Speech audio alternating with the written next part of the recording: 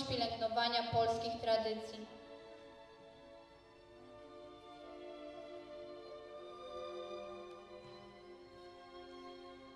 Jakie były ojczyzny losu koleje, jakie Polska przeżyła dzieje, jak bardzo pragnęła wolności. Niech pokaże krótka podróż do przeszłości.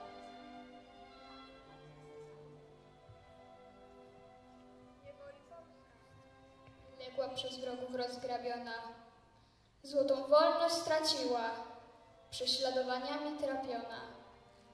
Rozgrabili naszą ziemię zachłanni sąsiedzi. Na południu Austriak, Prusak na zachodzie, Rosjanin zaś na wschodzie. Chcą cię oto zniszczyć, Polski, pradawny narodzie.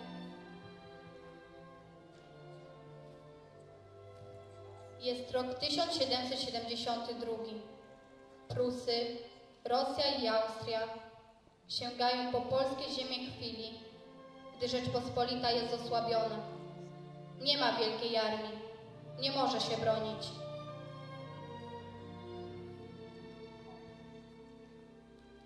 Czemu płaczesz? Staremu mówił Czyżyk młody. Lepsze masz teraz w klatce, niż w polu wygody. Tyś w niej zrodzą, rzekł stary. Przeto ci wybaczę. Jam był wolny, dziś w klatce i dlatego płaczę.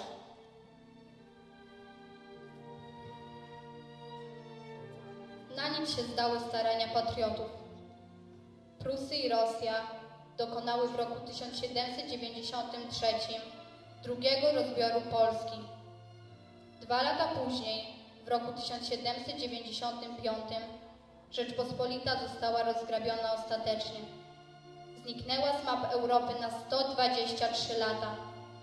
Kraju więc nie było, ale naród pozostał.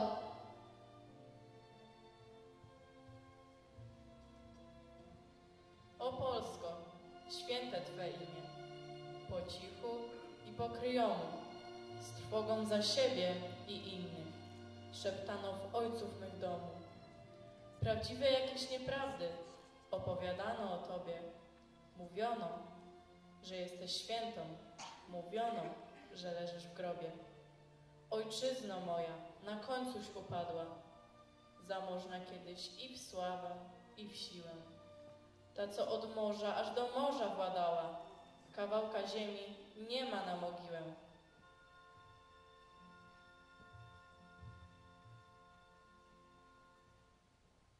Stacji Niewola na długo przystanął pociąg ojczyzny. Choć Polacy nie szczędzili dla niej krwi, cierpień i blizny. Walczyli za Polskę, nie bacząc na potęgę wrogów i własne cierpienia. W powstaniach wielu dla Polski złożyło życie w ofierze. Bohaterowie ojczyzny, którzy kochali ją szczerze. W otwartych bojach, potyczkach, codziennej modlitwie i pracy pielęgnowali polskość nawet najmłodsi Polacy.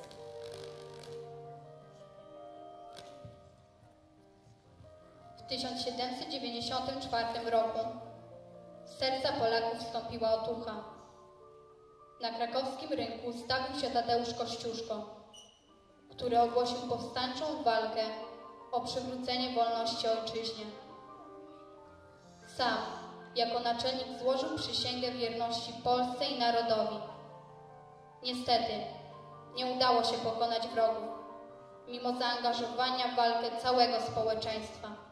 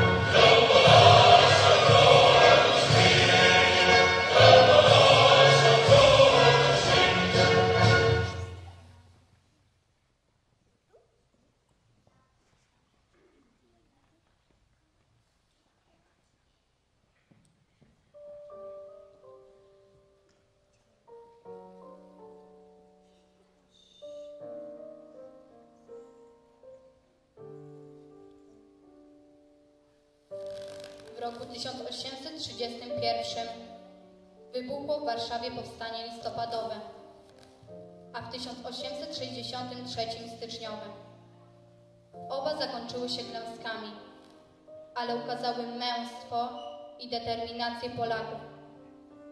Jednak wielu patriotów musiało opuścić kraj ojczysty, opanowany przez zaborców.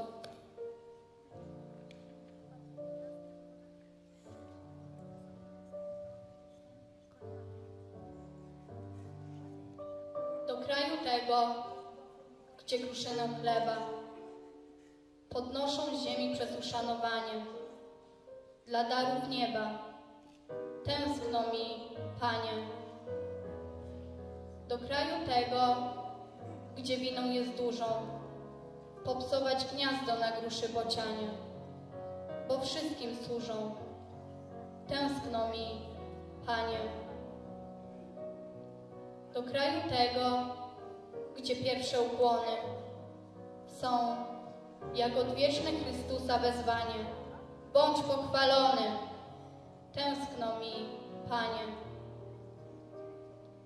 Tęskno mi jeszcze i do rzeczy innej, której już nie wiem, gdzie leży mieszkanie, równie niewinnej. Tęskno mi, Panie.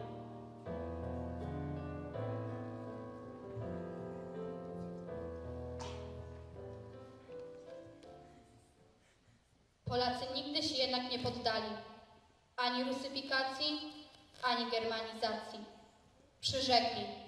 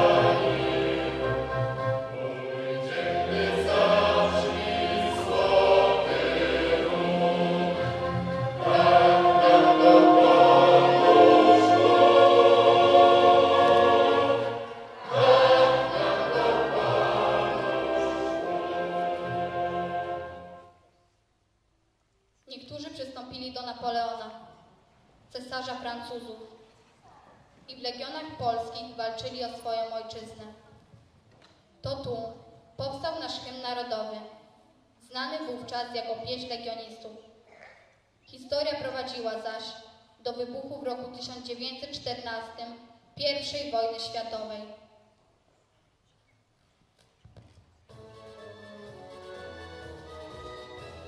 Wojenko,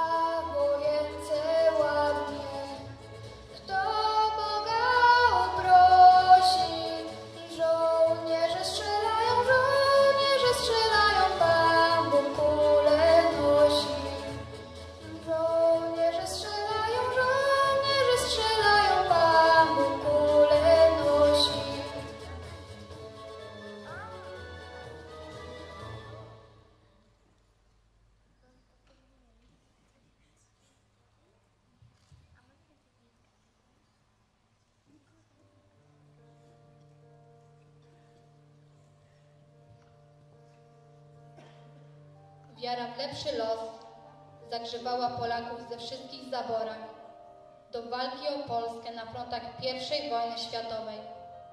W 1914 roku Józef Piłsudski zaczyna tworzyć legiony polskie. Żołnierze walczyli i modlili się.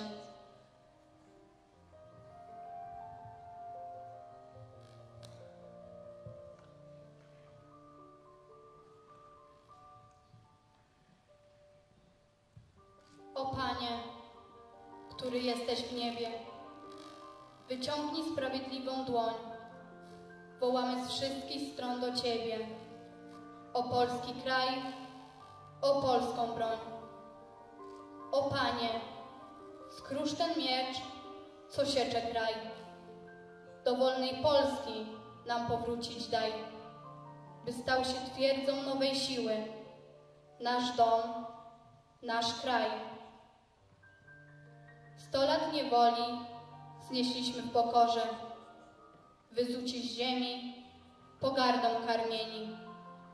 Twa sprawiedliwość wszystko zwrócić może, Twoja opatrzność zło w dobro przemieni.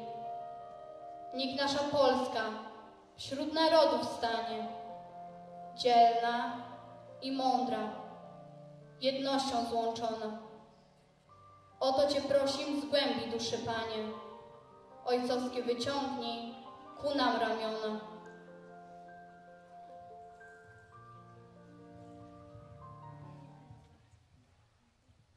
I Brygada Legionów Polskich zagrzewała się do walki pieśnią.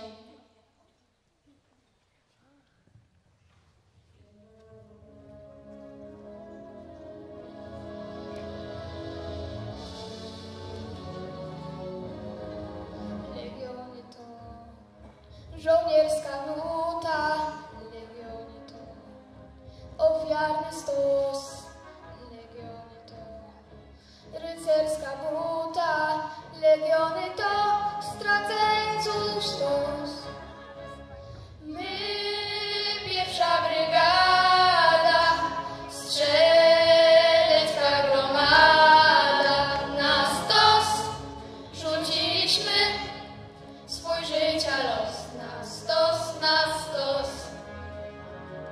My, pierwsza brygada,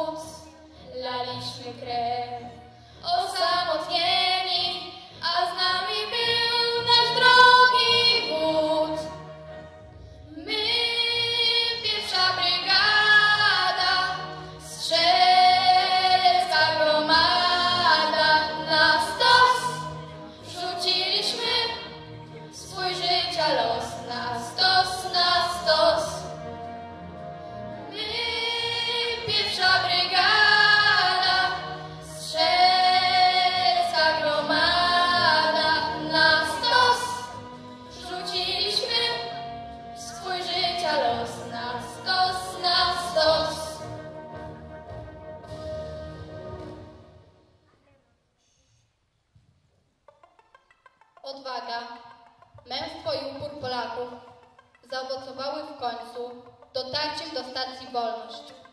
11 listopada 1918 roku odzyskaliśmy niepodległość, a Rzeczpospolita powróciła na mapę Europy.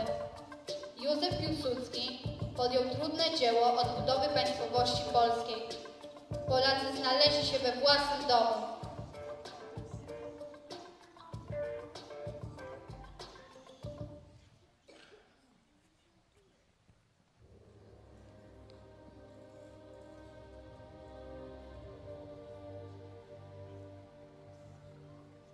Aby człowiek wiedział, dokąd zmierza, musi wiedzieć, skąd pochodzi. Zanim ci synku w literach treść drukowaną obnażę, będę jak księgi otwierał wszystkie wojenne cmentarze, wszystkie po polach mogiły, nauczę czytać jak nuty, abyś z nich czerpał swe siły do dalszej w życiu marszruty. Pokażę Ci rany skryte, głębokie na twarzach blizny i z nich Cię będę jak liter uczył imienia ojczyzny.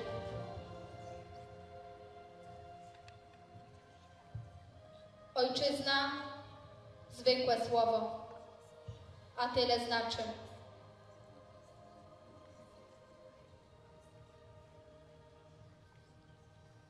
Ojczyzna to wsie, miasta, ulice i stadiony, i wszystkie polskie huty, i wszystkie polskie szkoły. To porty i okręty, i morza brzeg zielony. To zwykły dzień roboczy i święta dzień wesoły. Ojczyzna to czas dawny. Ojczyzna to czas bliski, to miły dom rodzinny i matki oczy jasne. Ojczyzna to mowa znajoma od kołyski. Ojczyzna to my sami, to serca nasze własne.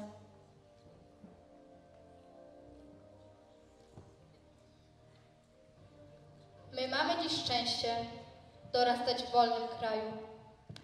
Pamiętamy jednak o tym, że przodkom winniśmy pamięć, ojczyźnie miłość.